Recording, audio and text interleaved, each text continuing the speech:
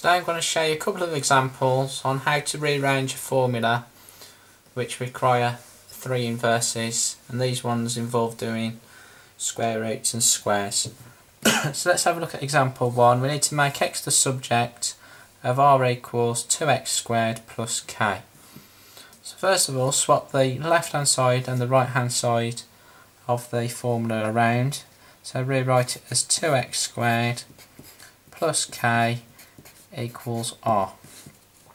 So if we look at on our left hand side of our formula, what's happening to x, it's been squared, it's then been multiplied by 2, and then we add in on k. So we need to get rid of these off the left hand side, and we do this by doing the opposite operations in reverse order. So first of all, let me get rid of the plus k. We can do this by subtracting k from both sides. So that'll get rid of the k off the left hand side and leave you with 2x squared.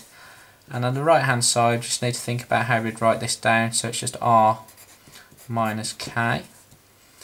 So the next thing I need to get rid of now is the times 2 so you can do this by dividing both sides by 2 so this will remove the 2 off the left hand side and leave you with x squared.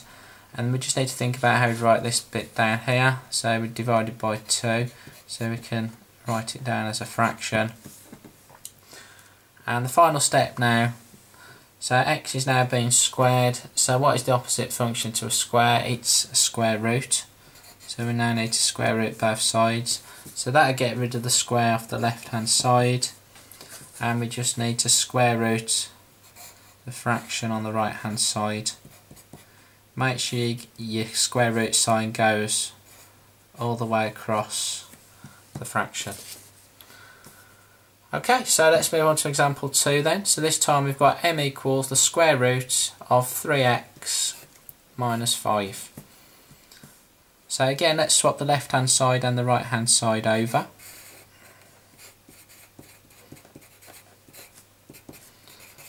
So if we have a look at what's happening to x on the left hand side, first of all it's being multiplied by 3, then we're taking away 5 and then it's being square rooted.